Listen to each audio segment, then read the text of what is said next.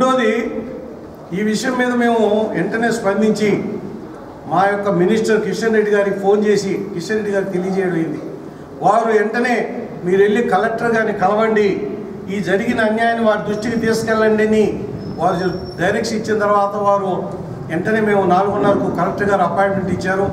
అందరం వెళ్ళి కలిసాం కలిసిన తర్వాత ఈ యొక్క విషయాలు ఏ ఉన్నాయో స్పష్టంగా చెప్పాం. సార్ ఒకటో ఇది గవర్నమెంట్ది. ఏడు వందల ఎనభై పట్ల ప్రభుత్వాలు ఈ అడంగంలో రాష్ట్రం సర్వే నెంబర్ ఏడు వందల ఎనభై ప్రభుత్వం యొక్క భూమి. అదేవిధంగా సర్వే నెంబరు ఏడు వందల ఎనభై ఒకటి ప్రభుత్వాన్ని. ప్రభుత్వ భూమిని ప్రైవేట్ అని మనం అధికారులే చెప్తే ఎలా అవుతుంది? ఒకటి. రెండోది అదే వాళ్ళు చెప్పిన ప్రకారమే ప్రైవేట్ అనుకుందాం.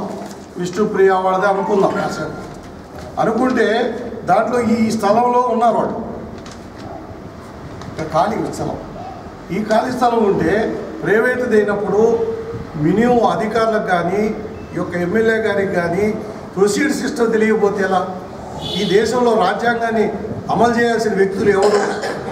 రాజ్యాంగాన్ని ఇలాంటి స్థాయిలో ఉన్న వ్యక్తులే ఉల్లంఘిస్తే ఈ ప్రజలు ఏమైపోవాలి?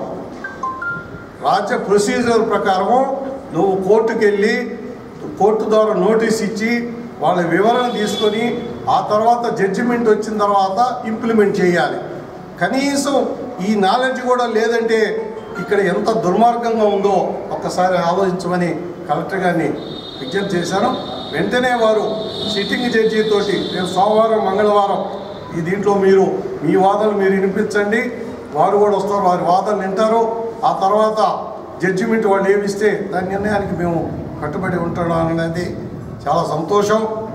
ఈ యొక్క కలెక్టర్ గారు ఎంతో చొరవ తీసుకొని వెంటనే సిట్టింగ్ జడ్జి ద్వారా దీన్ని ఎంక్వైరీ చేయించడాన్ని మేము స్వాగతిస్తున్నాం. దాంట్లో మా యొక్క వాస్తవాలు ఏవైతే ఉన్నాయి వారు చట్టాన్ని ఏం ఉల్లంఘించారు ఇవన్నీ కూడా అక్కడ మాట్లాడతాం. వారు ఏది ఇస్తే దాన్ని మేము స్వాగతించడానికి సంసిద్ధంగా ఉన్నాం. ప్రజాస్వామ్యంలో జరగాల్సిన పనితీరు ఇది. కలెక్టర్ గారికి మీరు చెప్పిన ప్రజెంటేషన్ ఏదైతే ఉందో ఆయన ఆశ్చర్యపోయాడు. ఎన్ని చూసిన తర్వాత నాకు ఇచ్చిన ప్రజెంటేషన్ లేదే అని అన్నారు. అదే సార్ ఇక్కడ సమస్య అని చెప్పిన తర్వాత వారు స్పందించారు.